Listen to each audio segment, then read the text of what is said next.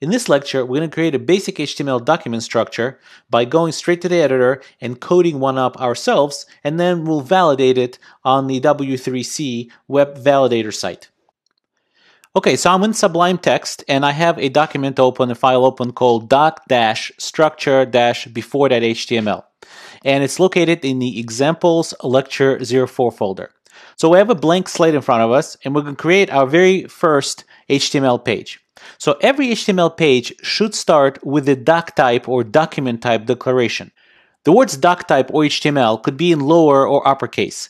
The only thing you have to watch out for is that there shouldn't be any space between less than, exclamation point, and the word doc type. You can have as much space as you want everywhere else, but it just doesn't look that great, so we'll just keep it to one space. In the past, these declarations were pretty complicated looking. Certainly not too many people would be able to type them up without copy and paste.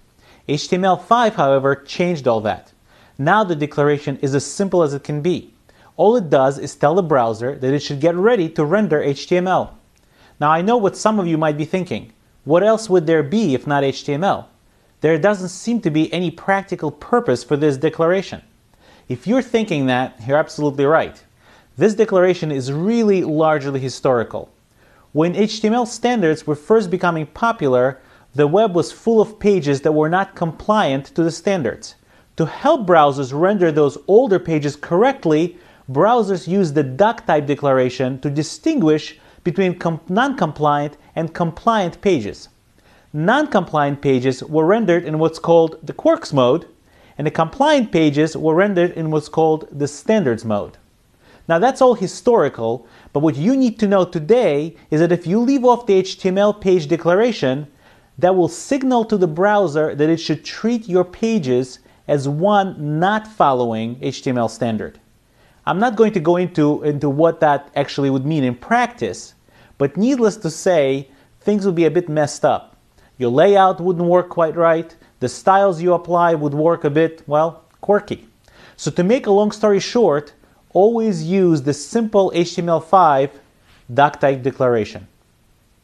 Next goes the HTML tag, and that's basically a tag that contains the entire HTML document.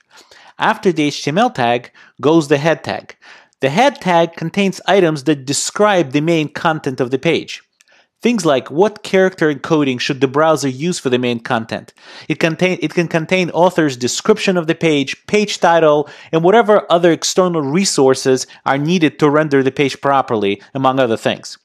The point is, it contains some metadata about the main content. Let's write our first meta tag uh, to specify the character set encoding of our web page. While not absolutely required, it's always a good idea to specify the character set that the browser should know how to interpret the content of the web page. The most commonly used character set is UTF-8. Also note that the meta tag is a standalone tag. There is no closing meta tag. Next, we'll specify the title of the page. The title is one of the tags that is actually required to be here. Without it, the HTML will be invalid. After the head tag goes the body tag. The body tag is the root of all content that is visible to the user. It is often referred to as a viewport. We can now write our content.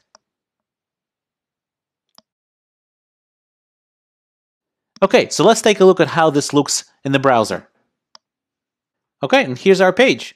You could see the content, Coursera is so cool, I'm learning so much, and you could see that the title, Coursera is cool, is also there. Next, let's try to take the code from our page and copy and paste it to validate it inside the W3C validator. And it says we're valid. I'm sure you've noticed by now that what we're doing is nesting one HTML tag into another. So for example, we could say that the head tag contains the title tag. One important rule when nesting HTML tags is that you have to close the last opened tag before you close its parent tag. If you don't, the HTML you wrote is invalid. So for example, here I have a paragraph, and don't worry about what these tags mean at the moment, but the paragraph tag, P, is closed before the last open tag span. Span is close after. So if we copy and paste this code and place it inside our validator and check it, you'll see that it's complaining and saying that the end tag P seen, but there were open elements. In other words, it wants us to close the span tag, which was opened last, before we close the outer P paragraph tag. One more note before we move on. When the browser opens an HTML page, it always renders or interprets the HTML code sequentially from top to bottom. So the doc type declaration gets interpreted first, then the HTML tag, then the head tag, and on and on until it hits the last closing HTML tag.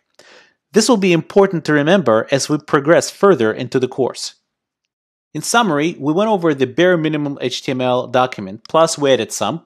Uh, we went over the HTML version declaration, and remember, we always have to use it, otherwise, the browser will be put into quirks mode and some things will break. Our first HTML tags we used HTML, meta, head, title, body, and actually throw in some uh, paragraph tag as well. We went over the fact that HTML is rendered by the browser sequentially, meaning top to bottom, and it renders it top to bottom as well. Next, we're going to talk about HTML content models.